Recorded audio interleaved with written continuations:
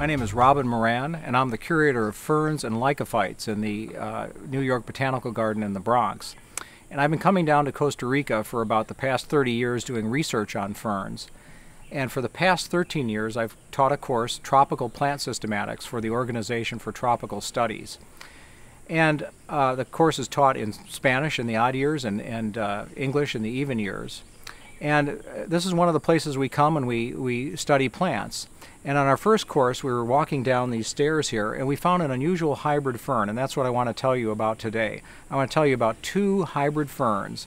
Um, uh, the, the, first one on this first clip will be an adiantum.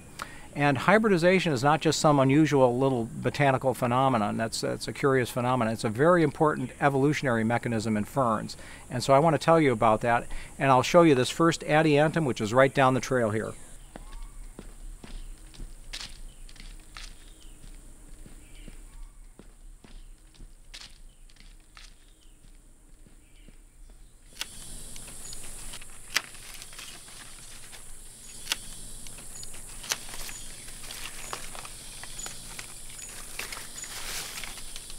Okay, here we are uh, on the stairs, and this is where I first found this hybrid population of the maidenhair fern.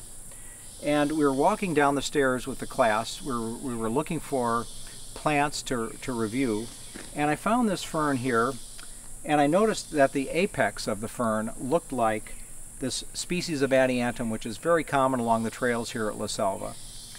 And uh, what was odd is it had more pinnae pairs, more leaflets than usual, and the base was cut. The basal pinnae were, were themselves cut into pinnules, and that was a, a very unusual thing. There's another species here, which is twice pinnate, and um, that suggested that this plant was a hybrid between the first parent, which is once pinnate, divided once, and uh, the second parent, which has twice pinnate leaves. So we thought this might be a hybrid. And what we did is we then looked at the underside of the leaf and we tried to find sori. Sori are clusters of spore cases where the spores are produced. And we then took this back to the lab and with a dissecting needle we removed some of these sporangia and we put those sporangia in a drop of water and on a, on a glass uh, microscope slide in a, on a drop of water and we put a cover slip over that and then we tap that cover slip to kind of break the sporangia and the spores are extruded. And we looked at the spores and the spores were a mess. They were aborted. They were misshapen. They were blackened. And they were, they're non-viable like that. They are, um, uh, they will not germinate. If you sow them, they, they will not grow. And that's a characteristic of hybrids. Hybrids are, have sterile aborted spores, and that's one of the nice things about working with ferns is that we can easily check the spores to see whether they're aborted, and that's a test for hybridity.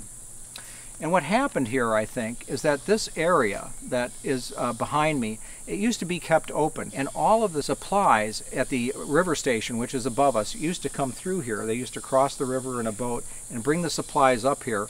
And all of this was kept open. It was cut, it had grass, and that disturbed the soil. Just the actions of cutting the, the, the grass disturbed the soil. And disturbed soil is where gametophytes, fern gametophytes, love to grow. The fern gametophytes grow when spores come in and land and germinate, fern spores.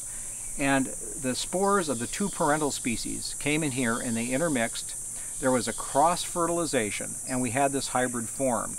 And I think that the hybrid here that we see along here and up the stairs, there's a big population of it, is probably all from one hybridization event. The hybrid has a creeping rhizome that inherits from one of the parents. And probably all of this is a single colony formed from the action of this creeping rhizome, just from vegetative reproduction. And um, uh, so it's probably all from the same uh, hybridization event, the same genotype. So again, we've got this, this once pinnate apex, which suggests one of the parents. And then we've got these basal pinnae, which are themselves pinnate and that suggests the second parent. And I want to show you upstairs, uh, I want to lay out the two parents and show you the extremes, and then you're going to see how this hybrid is morphologically intermediate. Here we are with the maidenhair ferns that we just collected uh, that along the stairs that go down to the Rio Puerto Viejo. Here is one of the parents, Adiantum latifolium, And here is another one of the parents, Adiantum petiolatum. And in between are the hybrids. And I put more of the hybrids in between because the hybrid is more variable. And uh, you can see how, how variable it is, especially if you look at the base of the plants. The one parent here, Adiantum petiolatum, is once pinnate. We have the petiole or leaf stalk here. And what you don't see here is the rhizome. The rhizome or stem is in the ground, and I didn't dig it up, but here it is, the petiole. This is the lamina, the flat green part of the, the blade. And here it is, the lamina is divided into separate segments, and these separate segments are called pinnae. Here is the uh, second species, Adiantum latifolium, and the pinnae are themselves divided into separate segments.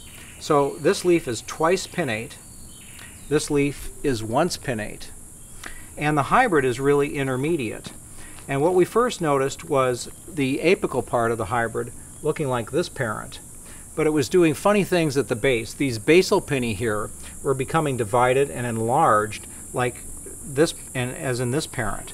And what we found was the whole transition between something like this, which is relatively undivided, and these basal pinnae becoming more and more divided, more and more divided, and so on. And in some cases, we found the hybrid with up to two or three pairs of pinnae. And I couldn't find any this time, but you can see on this individual over here, the basal pair, both pairs are divided, and the pair above them is a little bit more divided, just, just a little bit. So these are really intermediate between these two extremes. And again, once we saw this intermediacy and we suspected hybridization, we brought the plants into the lab, checked the spores, and they were aborted, non-viable spores. Hybridization is a very important phenomenon in, in ferns. It's not just some mere botanical curiosity. About a fifth of the North American fern flora is known to be a result of hybridization followed by a process of chromosome doubling called polyploidy. And once the chromosome number doubles, and there's various ways that this can happen, once the chromosome number doubles, the plants are instantly fertile. Instead of getting aborted, misshapen spores, you get normal spores. And the plants can then reproduce, have a range that can extend beyond that of their parents, and they can reproduce sexually and become a normal species. And again, about a fifth of the North American fern flora has evolved this way, and this is an extremely important evolu evolutionary mechanism in ferns. We know very little about hybridization in the tropics, and even less about hybridization followed by polyploidy, chromosome doubling in the tropics. It's a wide open field for investigation, and I'm sure that many of the tropical species uh, have evolved by this process of hybridization followed by chromosome doubling, but we just don't know anything about it. So hybridization, what I've shown you here, is just, just not a, a little curiosity, it's a really an important uh, uh, process and um, this is an outstanding example of it. And in the second video clip, I'm going to show you another hybrid in the fern genus Lomariopsis, which is down the trail out here, and uh, we'll take a look at it.